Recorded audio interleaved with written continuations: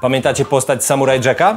A wiecie, że na zakończenie tej serii trzeba było czekać praktycznie 13 lat? Polecam sobie sprawdzić, bo to bardzo ciekawy temat, ale na tym kanale zajmujemy się głównie grami, więc yy, ja ograłem Samurai Jack Battle Throughout Time i przedstawię Wam 5 powodów, dlaczego warto zagrać w ten tytuł.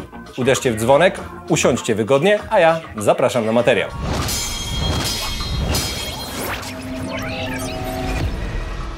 Nawet jeśli nie jesteście fanami serialu, wydaje mi się, że jest wielce prawdopodobne, że przynajmniej raz zetknęliście się z postacią Samurai Jacka, choćby ze względu na to, jak wyrazistą postacią jest ten samuraj.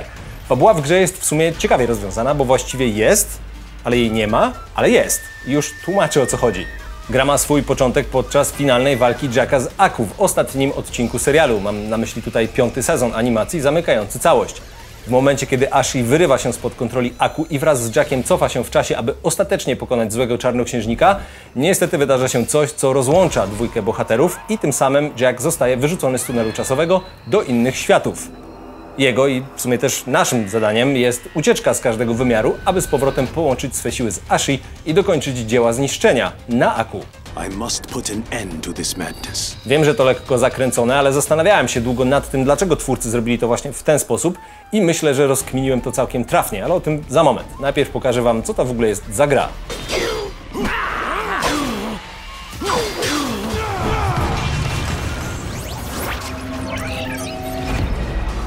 Nie będzie wielkim zaskoczeniem pewnie jak powiem, że Samurai Jack Battle Throughout Time to dynamiczny slasher. Właściwie wiadomo było to już od e, zapowiedzi pierwszych, ale szczerze mówiąc nie spodziewałem się, że aż tak będzie to technicznie dobrze wykonane. Jack jest mega sprawnym gościem i choć na początku dysponuje tylko swoją kataną i pięściami, daje radę. Wraz ze zdobywaniem umiejętności i sprzętu, o którym za chwilę, bohater staje się siłą nie do powstrzymania. Swoją dynamiką gra nie odstaje od e, takich tytułów na przykład jak Devil May Cry, co było dla mnie dosyć sporym zaskoczeniem. Wiecie, odpalam sobie gierkę o ziomku z bajki, a tu trzeba nagle robić uniki, doskoki, blokować szybko ciosy. Są sekwencje, gdzie atakuje nas cała chmara wrogów i to nie po kolei jak w filmach z Hongkongu, a wszyscy naraz. Bossowie mają duże paski energii, potrafią mocno nam przywalić. Tak grałem i moje oczy otwierały się coraz szerzej. Zwłaszcza, że na pierwszy rzut oka ta gra sprawia wrażenie, że jest kierowana głównie dla najmłodszych graczy, a tu ząg. To znaczy, mi to bardzo przypasowało do gustu, bo bardzo lubię takie ultra szybkie gry akcji, ale przyznaję, że zdarzyło mi się parę razy zginąć. Musiałem świadomie wstukiwać kombosy, a i tak grałem tylko na średnim poziomie trudności. No i w momentach największej opresji musiałem korzystać z potężnej techniki Kiai. Oczywiście walka ma pewne uproszczenia w swojej konstrukcji i są niektóre kombosy, które spamując łatwiej i szybciej ogarniają wrogów, ale i tak byłem pod sporym wrażeniem, tak jak mówiłem też y, zaskoczeniem tego, jak dobrze ona została tutaj zrobiona.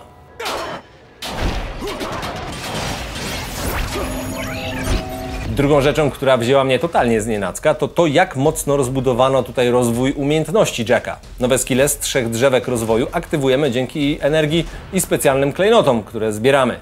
Jest tego naprawdę sporo, jak widać. Nowe kombosy, ulepszenia umiejętności aktywnych oraz pasywnych. Aby to wszystko odblokować, trzeba trochę czasu tutaj spędzić.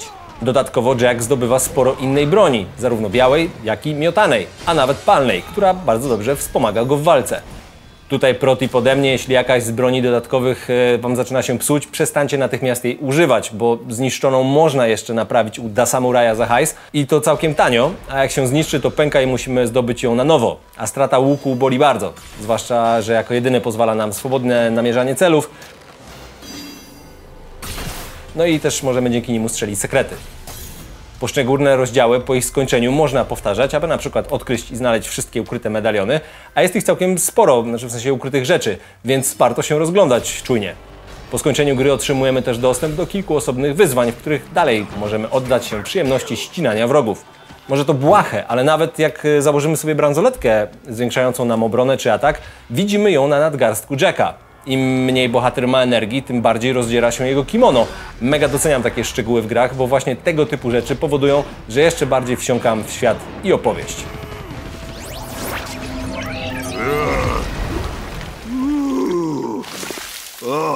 What happened? Jendy Tartakowski, czyli twórca Samurai Jacka, jest artystą, który posiada niesamowicie wyrazisty styl graficzny. Wystarczy jeden rzut oka na Jacka, Wojny Klonów, czy Laboratorium Dextera, które na bank e, znacie wszyscy, aby rozpoznać jego kreskę. Paradoksalnie serial animowany, pomimo że opowiadał o losach samuraja walczącego ze złym i mrocznym władcą Aku, właśnie głównie dzięki stronie wizualnej zgromadził rzesze fanów. Oczywiście nie umniejszam tutaj historii, ale to właśnie to, jak wyglądał ten serial, sprawiło, że był tak oryginalny. W przypadku gry ten aspekt był jedną chyba z najważniejszych rzeczy, którą trzeba było odwzorować i to akurat twórcom udało się bardzo dobrze. Stylistycznie gra bazuje w dużej mierze na minimalizmie pierwowzoru i co za tym idzie też jej konstrukcja może wydawać się prosta. No bo właściwie to co, lecimy do przodu, kosimy wrogów, wyskakuje boss, pyk, pokonujemy go, zmieniamy świat. Następny. Nie ma tam w tym żadnej jakiejś głębszej filozofii. Ale zachowano myki znane choćby z serialu, te specyficzne dzielenie ekranu w ważnych momentach fabuły. Gra czasami przeskakuje z pełnego 3D w krótkie sekwencje, nazwijmy je 2,5D, a bohaterowie są zanimowani fenomenalnie. I z tego co wyczytałem, japońskie studio Soleil, odpowiedzialne za grę, musiało mieć jakichś ludzi doświadczonych przy filmach animowanych, bo lip sync w tej grze jest mega dobry. It's number one assassin, the Pied Piper of Pain, the ambassador of annihilation. Głosy wszystkich postaci są oryginalne, oprócz e, braku Mako, czyli aktora dającego głos Aku, po prostu nie dożył piątego sezonu. To wszystko też przekłada się na to, że gra praktycznie nie odstaje klimatem od serialu. Trzeba pamiętać też o tym, że jest to raptem trzecia gra, tak w ogóle o przygodach tego zacnego samuraja i jest ona o lata świetlne jakościowo przed tamtymi, już pomijając, że wyszła ona po prostu bardzo dawno temu. What in some hoot willy are you doing here? You're a sight for these great big sore eyes, huh? Ah, come here, you. It is good to see you too, my friend. Samurai Jack Battle Throughout Time świetnie pokazuje kierunek, w którym powinny iść wszystkie gry, które nawiązują do seriali rysunkowych bądź filmów animowanych. Z jednej strony ok, nie jest to gra, która oferuje nam niesamowicie rozbudowany świat z milionem różnych opcji i w pewnym sensie to, co tu widzimy i to, z czym obcujemy, przywodzi na myśl trochę to, jak były robione gry jakieś 10 lub 15 lat temu. Dosyć prosto, mówiąc krótko. Z drugiej strony właśnie tego typu podejście sprawia, że gra w dużej mierze komplementuje serial i tym samym pięknie łączy się z tym, co znamy z telewizji. I tu dochodzę do sedna. Dla kogo właściwie jest ta gra? Jeśli kompletnie nie znacie serialu i szukacie w grach jakichś niesamowitych rozwiązań technicznych, to ta produkcja może nie do końca Wam podejść. Ale jeśli oglądaliście serial w czasie, kiedy był emitowany pierwotnie, czyli na przełomie 2001 i 2004 roku i z wielką radością powitaliście zakończenie serii w 2017, to może być gra dla Was. No i tutaj muszę powrócić do tego, o czym mówiłem e, na początku. To, że gra zaczyna się dokładnie w tym konkretnym momencie finału serii, jest zamierzeniem twórców, którzy podeszli do całości projektu tak, jakby to był jeden z odcinków serialu. Więc nie dość, że to, co się dzieje w grze jest uznawane za kanon, to dwa, że jest to świetne nawiązanie i zamknięcie historii Jacka. I to moim zdaniem jest chyba tutaj najważniejsze, że nie był to kolejny skok e, na znaną markę, tylko po to, aby jeszcze dłużej pociągnąć temat, opierając się na nostalgii fanów. I jeszcze jest jedna rzecz, o której muszę wspomnieć. Jeśli zniszczycie w grze 50 ukrytych amuletów i wtedy pokonacie Aku, zdobędziecie ukrytą końcówkę. I wierzcie mi, warto ją zobaczyć. Is he dead? No. And he never will be. How dare you talk back to your father?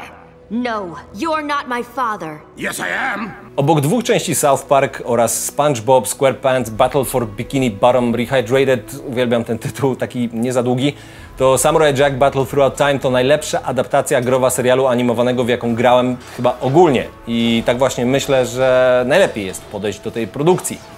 Kreskówkę oglądałem już dawno, dawno temu, więc sporo mi z tego, co tam się działo, wyleciało z pamięci, ale po spędzeniu czasu z grą chcę sobie odświeżyć temat. Faktycznie ta produkcja jest bardzo ciekawa, bo wiem, że nie wszystkim może ona podpasować, ale jeśli lubicie Samurai Jacka i chcecie sobie posiekać trochę technokrokodyli, tęskniliście po prostu za tymi świetnymi bohaterami, koniecznie sprawdźcie tę grę.